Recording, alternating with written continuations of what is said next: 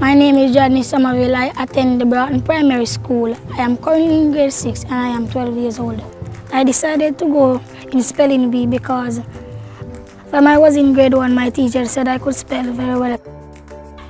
Words can explain how elated I am to have both my spellers rounding off the top two for the parish. It, it feels tremendous. Him have the potential to do the spelling bee and the GSAT. My coach made a timetable for me, so I, because I'm doing GSAT, I do like one and a half hours every day spelling bee and I do the rest at GSAT. We always spell together too. From, you know, I always spell me and him. I know me, me always are, are the speller who put them to test so they can spell more than me. We do pull-outs during class time, we do after-school sessions, and we do sessions on the weekends. They have groups. So some like this evening, all these kids come to my home and they study. They go to the other student home and they have study groups.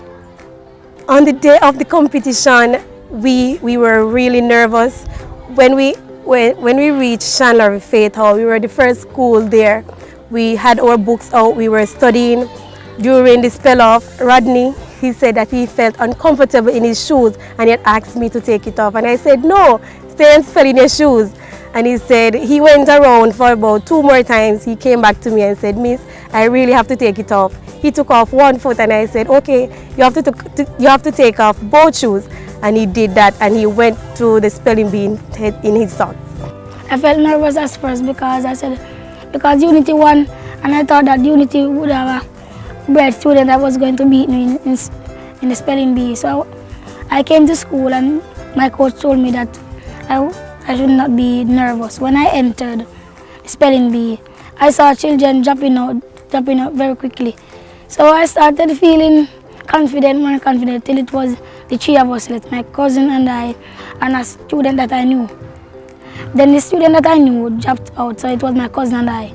Then the first word my cousin got, she she got it wrong. So when, when she got it wrong, I knew that it was my time to win.